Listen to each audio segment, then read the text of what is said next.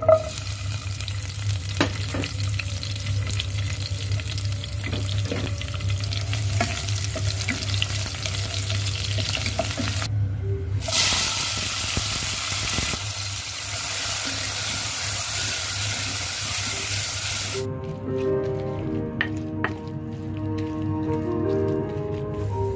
Halo assalamualaikum bunda. Jumpa lagi dengan saya. Apa kabar hari ini? Semoga di hari ini kita semua selalu dalam keadaan sehat walafiat ya bun. Dipermudahkan segala urusannya dan dilancarkan rezekinya. Amin. Di video kali ini saya mau bikin ayam crispy dan juga sambal bawang ya bun untuk bahan dan punya sangat gampang dan juga simpel ya bun. Jangan di skip tonton videonya sampai selesai ya bun. Terima kasih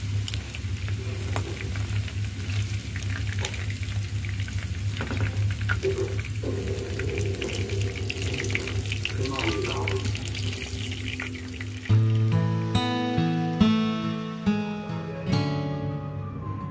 adalah bahan untuk bikin sambal bawangnya ya bun dan juga buat ayam crispy-nya. Untuk ayamnya ini saya ambil bagian dada ya bun yang tidak ada tulangnya.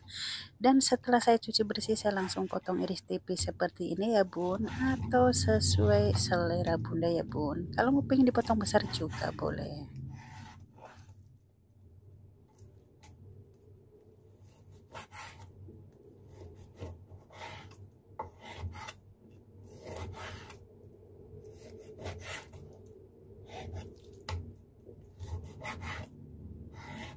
Nah kalau semua ayam sudah dipotong selesai seperti ini ya bun Lalu saya mau kasih bumbu atau saya tambahkan penyedap rasa ya bun? Ini saya menggunakan penyedap rasa masako ya bun Dan saya menggunakan secukupnya saja ya bun. Diaduk-aduk dan lalu diamkan kurang lebih 15 menit atau 20 menit ya bun Supaya bumbu lebih meresap ke dalam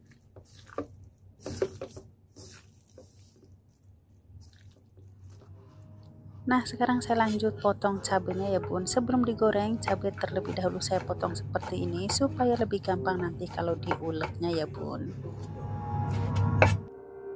Nah ini adalah bahan untuk bikin ayam crispy-nya ya bun. Ini saya pakai tepung terigu lalu saya kasih air ya bun. Diadonin mengental seperti ini.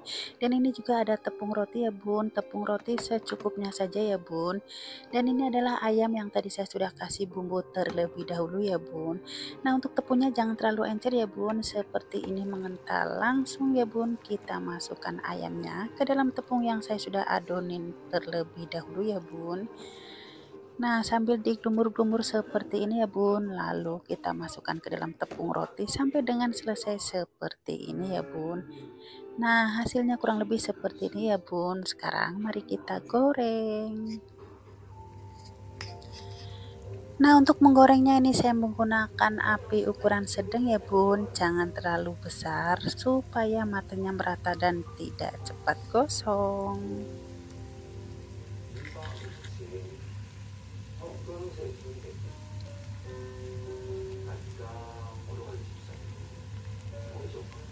Jangan lupa sambil dibolak-balik ya bun. Nah kalau sudah berubah warna kecoklatan seperti ini itu tandanya sudah matang ya bun dan sudah boleh diangkat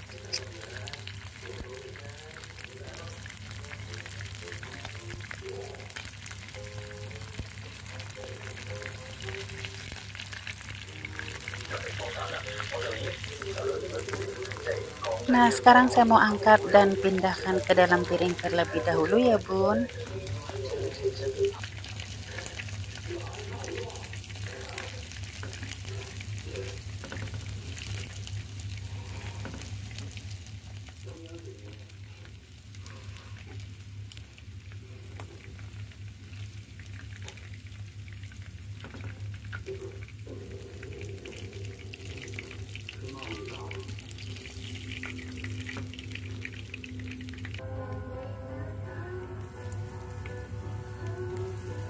Nah sekarang lanjut goreng yang kedua ya bun Sama seperti yang pertama dengan ukuran api yang sedang atau kecil ya bun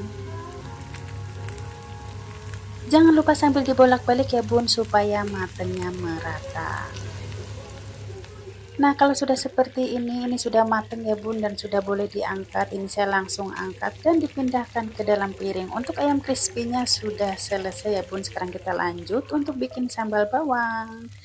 Nah, yang pertama saya goreng dulu bawang putihnya ya bun, seperti ini.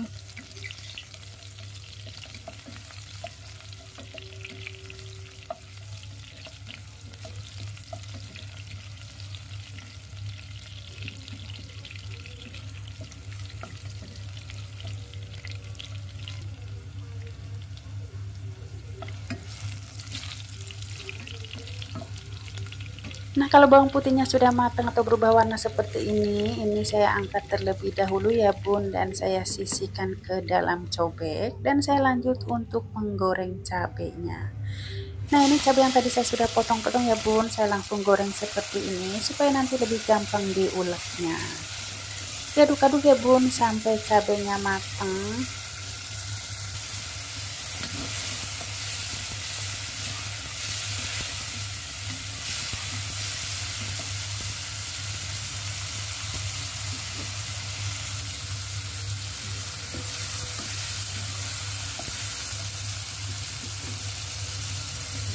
Nah ini cabenya sudah matang ya bun dan saya langsung pindahkan ke dalam cobek. Dicampur langsung aja ya bun ke dalam cobek yang ada bawang putihnya tadi ya.